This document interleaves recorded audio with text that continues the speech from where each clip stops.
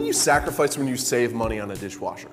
It's a good question to ask yourself if you're thinking about buying a more budget-friendly option because at least with this $700 Kenmore behind me, you're not sacrificing cleaning performance. Kenmore's $700 dishwasher is a great cleaner, scoring just over 90% on our really stressful tests and besting models that cost hundreds more in the process. It's seriously awesome. Topping it off, it has a bunch of options and cycles to choose from, including all the basic cycles you'd expect from a higher end model. It also has this really cool turbo zone option.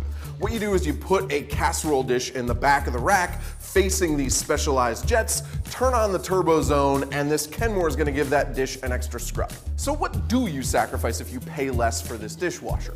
Well, the main thing is that it has a plastic tub on the interior as opposed to a stainless steel tub that helps you save energy over time.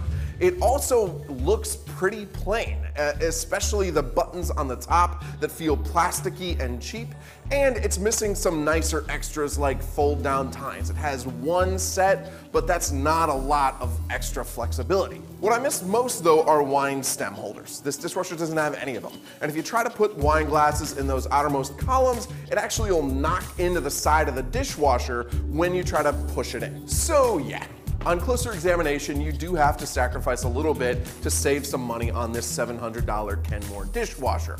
But it's roomy enough, it has plenty of cycle options and plenty of cleaning power as well. In fact, it's a good cleaner at any price. So if you're okay with the bland looks, I strongly recommend this $700 Kenmore as a lower mid-range option.